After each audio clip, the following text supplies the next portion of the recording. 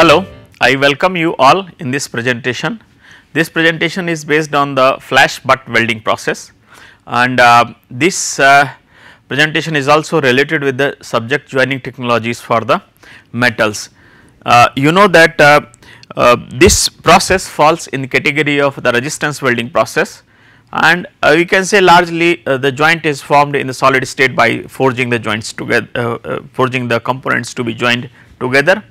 So, uh, we will see uh, that how this process works in and uh, in which way the joint is formed what kind of components are commonly joined. So, the, the process flash butt welding. So, basically this process is a, a resistance welding process where primarily uh, uh, uh, the heat for preheating purpose is produced through the I square RT heating principle. Uh, but the total heat required for development of the joint is uh, is a combination of the resistance heat plus the uh, arcing or flashing heat the heat which is generated due to the the flashes. So, uh, both these are used for increasing the temperature of the workpiece to, to the required forging temperature say 1250 degree centigrade for steels. So, basically we need not to have the fusion state for development of the joint, uh, but it is uh, mainly the heating to the forging temperature as per the metal system say 1250 for the steels uh, the, the, kind of temperature which is needed uh, for this purpose. Uh, we each uh, like preheating through I square RT heating and uh, the heat generation due to the arcing both these uh, have their own specific role for development of the joint. like since this process is uh, one variant of the solid state process also. So, as the joint is not formed in the uh, by melting the faying surfaces of the base metal, but joint is formed by forging the components to be joined together. So, this process uses no can say filler metal there is no filler metal and uh, no uh, you can say um, no uh, large scale melting of faying surfaces, faying surfaces for uh, weld metal production. Whatever melting takes place that is primarily for the cleaning purpose and uh, uh, so that the uh, metal to metal con contact metal to metal contact can be established when the things are forced together. So, no large scale melting of the faying surfaces for uh, producing the uh, weld metal production. At the same time uh, this process relies heavily on the pressure for forging and for heat to reach the recrystallization. So, like in any other uh, like other welding processes mainly rely on the heat so that the faying surfaces can be brought to the molten state like this application of the heat through arc or through the gas flame so that molten state is achieved and under the gravity conditions the solidification is achieved so that metallic continuity uh, can be obtained. But in this case uh, heat is used for uh, for uh, increasing the temperature of the faying surfaces to the forging temperature uh, and uh, uh pressure is used for the forging purpose. So, uh, heating to the forging temperature and pressure for pressure application for forging the members to be joined so that metallic continuity can be obtained uh, can be obtained. So, this is what is there in the uh, the basic basics of the process as a whole how does it uh, work in that is what mm, and now we will uh, let you know in detail. So, uh, this process uh, in this process one work piece or the members to be joined say one piece is kept fixed uh, like say with the help of the copper supported clamps, copper clamps. And another end is kept movable. Say this is the movable part or another work piece to be joined which is kept movable. And this is uh, also clamped with the copper shoes. So, this uh, can move back and forth and both are supported on the suitable structure.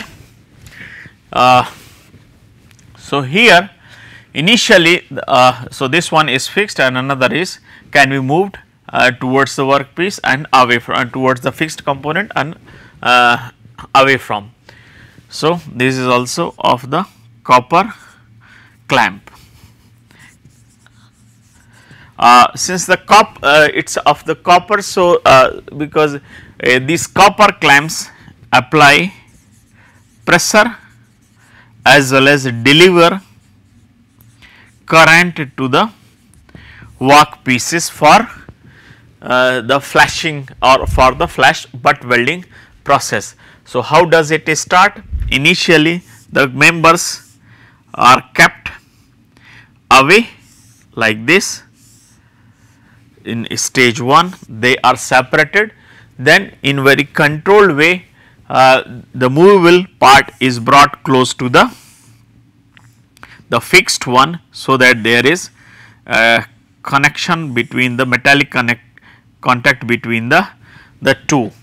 And in this stage when the two are in contact the contact will be through the peaks and valleys present at the interfaces both the sides and at this stage the current is fed.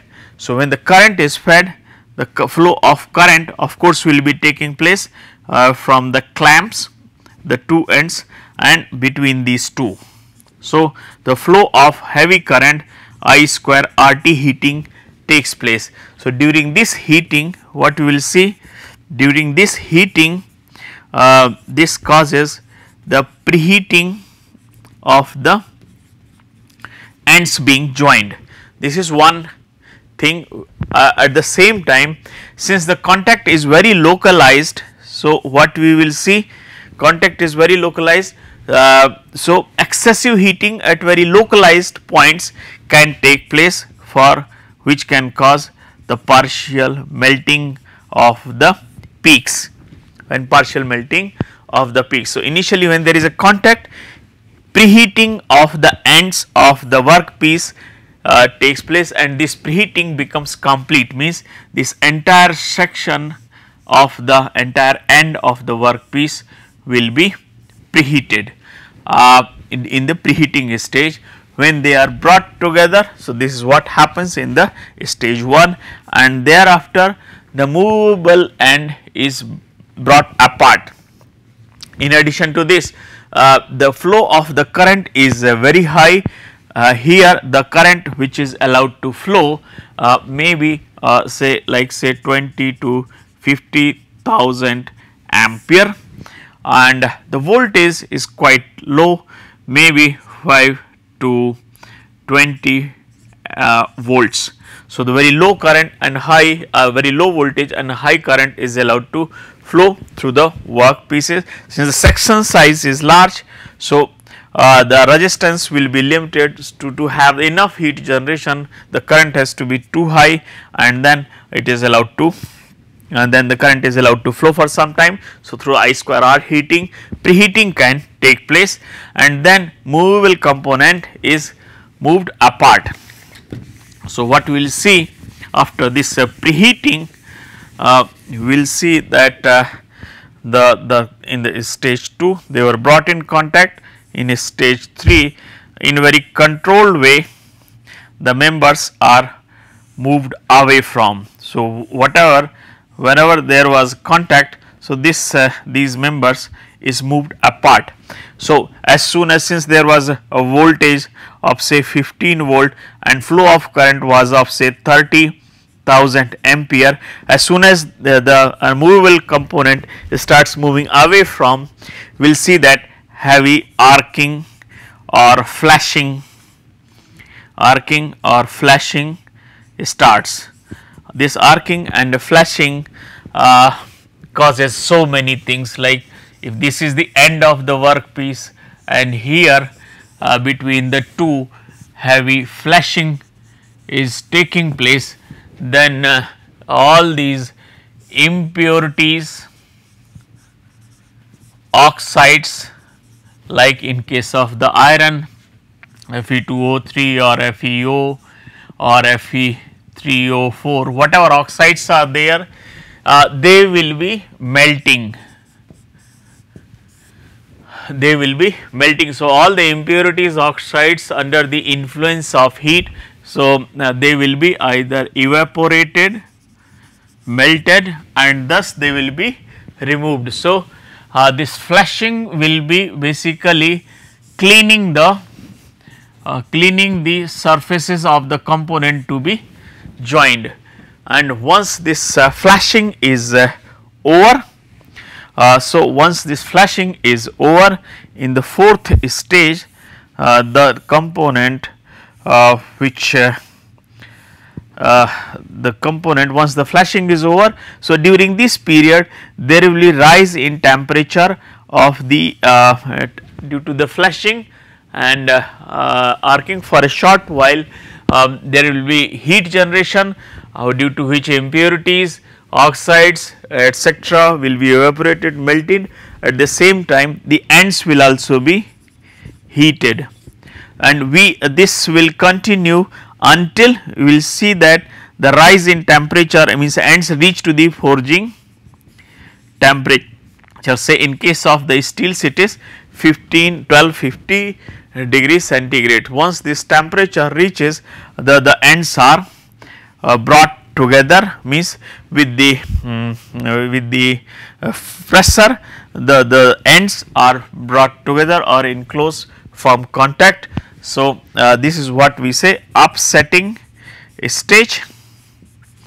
In the upsetting stage uh, the ends are forced together with the heavy pressure.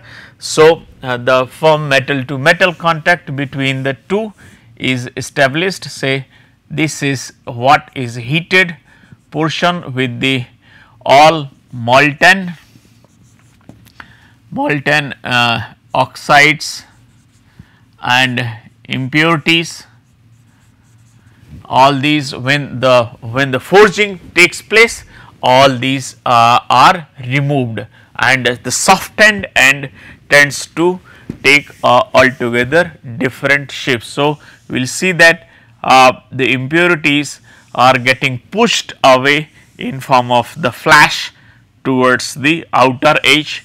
And uh, this is the kind of. So, here we will see that oxi oxides and impurities are localized at the ends and here at the, uh, the perfect metallic continuity is obtained. So, this uh, this increase in localized increase in diameter is termed as the flash uh, which will be coming out or this is the upset region and uh, the impurities will be localized uh, in this uh, region and uh, thereafter once the joint is formed uh, and this upsetting basically happens under the forging conditions the metal near the ends becomes soft.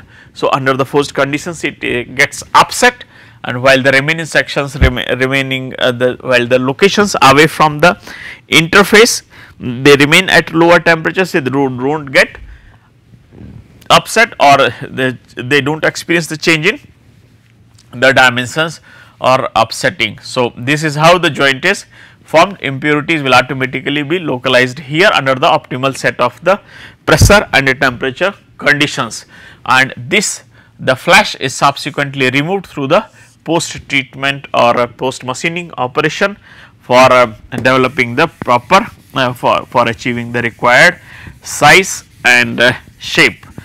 So, now we will see, um, so this is the uh, these are the basic steps and this is what happens in case of the flash uh, butt welding uh, for developing the joints uh, between the members. So, so there are uh, four stages. One is uh, preheating, second is like say flashing,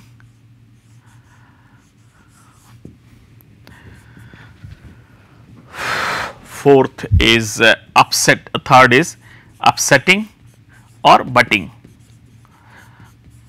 under pressure and then hold. In the hold stage uh, the, the two components after uh, setting they are kept together under pressure for certain time so that uh, mm, the, the joint uh, can be formed and thereafter uh, the things are taken off. So, this is uh, these are the, the four steps related with the flash butt welding. And now we will see that in which way the things happen one by one. Uh, like say in respect of the uh, like say here this is time. And we may have uh, like pressure and uh, current. So, like this uh, this is what also we can explain using this uh, diagram so, here we can use this also. Uh, uh, schematically the four stages have been shown here. Initially in the initial stage the, the parts to be joined are uh, kept on the two uh, clamps of the copper shoes with the proper position. So, in, in the initial stage uh, this is the position when they are brought together initially uh, like say initially we may have may have preheating or may not have. So, in, in case of preheating entire uh, the ends of the workpiece are heated while in case of the flashing only the interface zone is heated. So, the flashes are there. Flashes will be melting the impurities removing the oxides and uh, other impurities. Once the uh, required um, uh, required forging temperature is attained the ends are mm, uh, the components movable components is brought towards the fixed component so that all the impurities are expelled out from the interface and uh, then upsetting happens. Whenever upsetting happens we will see that localized increase in the dimensions. So, these three uh, all these stages have been shown here like stage 1 the, there is no flow of current. In the stage 2 the, the two components are brought in contact with each other flow of current starts. So, this will be resulting in the preheating of the uh, ends of the work pieces and uh, thereafter as soon as the component starts moving flashing starts and in case of the flashing. Uh, so, here 1, 2, 3 this is the stage of the preheating and in the stage 4 once the flashing is over uh, the forging is done so that uh, mm, there is in case of the forging the two components will be coming close together all the impurities will be accept, uh, expelled uh, expelled from the interface and uh, the upsetting will happen. So, this is what we can see under the, uh, the as far as displacement is concerned there is continuous uh, uh, the in, in the initial stage there is no major displacement 1 2 3 but in the upsetting stage there is significant displacement happens. So, as far as the force and the displacement is concerned this is the kind of variation. And if we will see this is what happens actually at the interface uh, in the initial stages when there is a contact through the uh, peaks and valleys. So, heavy flow of the current through the peaks and valleys causes very localized heating and the oxide layer will be getting heated. And when this happens means the arcing and sparking continues for long it results in the layer of the molten metal wherein having the oxides and other impurities at the same time near, nearby the heated region is also formed. So, uh, once this uh, is achieved the things are forced together. So, all these impurities and the liquid metal is uh, taken off or expelled from the interface and uh, it will uh, the softened zone will be subjected to the upsetting to have the direct metal to uh, metal connection. So, this is what uh, we will see the, the different stages which have been shown. In the initial preheating stage in the stage 1 the, when there is a flow of current uh, in the preheating stage there is a continuous rise in temperature and then temperature remains uh, constant in the, the stage 2 and once the flushing is over and upsetting starts uh, the temperature starts coming down uh, uh, starts coming down as a function of the time or this this is also the burn of a period uh, and as a function of distance if you will see from the interface. So, uh, at the interface like this if this is the interface the point 1, point 2 and point 3. So, the kind of variation in temperature, it temperature will be higher at 1 temperature will be somewhat lower at 2 and at 3 like this. So, uh, in stage 1, stage 2 and stage 3 when this is the uh, upsetting stage once the heat generation and uh, all that is over this is the flashing stage and preheating stage.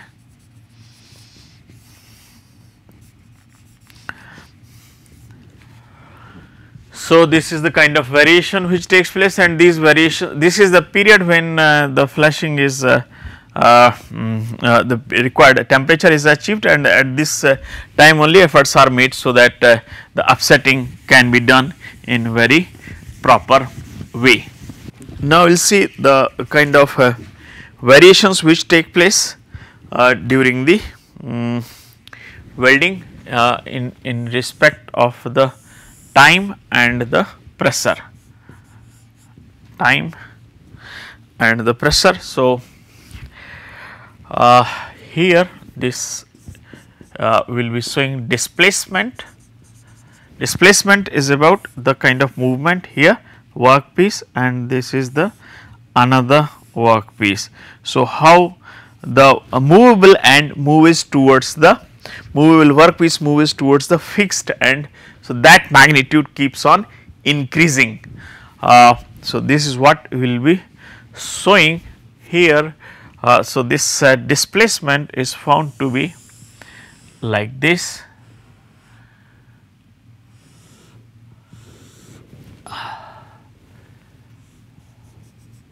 So, this is the upsetting stage and uh, this is the flushing stage. Flushing stage and the upsetting stage. So, in case of the flashing, we will see uh, this is the uh, flushing current current variation goes in like this. So, all both these will be moving together almost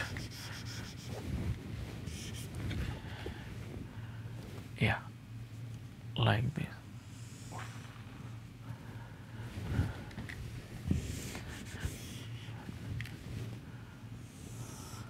So, this is uh, the current variation or you can say this is uh,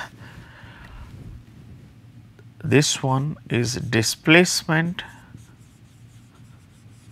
and this is the current variation uh, during the welding. So, here if we will see once the uh, here uh, this is the period when the uh, our flashing will be occurring temperature there will continuous rise in temperature of the ends of the workpiece and uh, then the upsetting force is applied when the, there is upsetting force there is a, a rapid uh, there is a rapid displacement. So, what we will see that the burn off period and upset. So, this is the mm, magnitude now which will be indicating the displacement corresponding to the upsetting upsetting displacement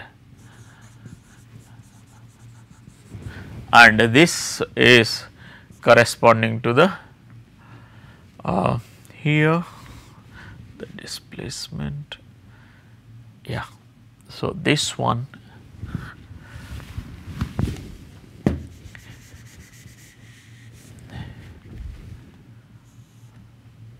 this is corresponding to the uh, flashing displacement. Uh, enough uh, um, scope is kept for uh, the additional lengths corresponding to the flushing as well as the upsetting uh, displacements and if we see the kind of variations which take place in the temperature right uh, at the interface or increasing distance away from the interface then typically uh, the Weld thermal cycle or thermal cycles which are experienced at the interface we will see the continuous decrease in temperature as a function of the time like say uh, here the temperature and in uh, y x axis the time and then you will see like point 1 2 3 4 say at each interval of the 2.5 mm. So, the one at the 0 distance uh, that is at the interface uh, experiences direct cooling, but the points which are away from they will be experiencing thermal cycle like this uh, like uh, the point 1 this is point 1 of point 2 at 2.5 mm distance and then point 3 taking somewhat longer period 0.4 further taking longer period. So, the peak temperature and the time to reach the peak temperature they are also longer. So, our time actually comes like this time to reach the peak temperature. So, here depending upon the kind of metal systems the heat affected zone may be of the different sizes. So, this is what we can obtain or the, we can see from the uh, Weld thermal cycles. Now, we will see uh, the what are the typical applications for this process. The typical applications of this process uh, includes like most commonly it is used for the joining of the rails. In addition to that it is also used for the joining of the rings of the large diameter. At the same time it is used for the joining of the chains and girders and uh, in addition to that uh, these are also used for joining of the pipes of the large diameter. So, uh, here now I will conclude this presentation. In this presentation uh, we have talked about one of the resistance welding processes that is the flash butt welding. This process is mainly used for uh, uh, the joining of the symmetrical section components and uh, this process works on the principle of the electrical resistance heating plus the flashing or arcing for increasing the temperature of the ends of the work pieces to be joined to the forging temperature and thereafter upsetting results in the development of the joint. This typical kind of the temperature for steel is 1250 degree centigrade and upsetting is done using the temperature uh, using say uh, 90 or 100 MPa uh, pressure so that uh, the joint uh, is formed an optimum combination of the, the current time and uh, the displacement results in the clean weld and uh, this process can effectively be used for joining of the like rails, rings, chains, girders, pipes etc. Now thank you for your attention.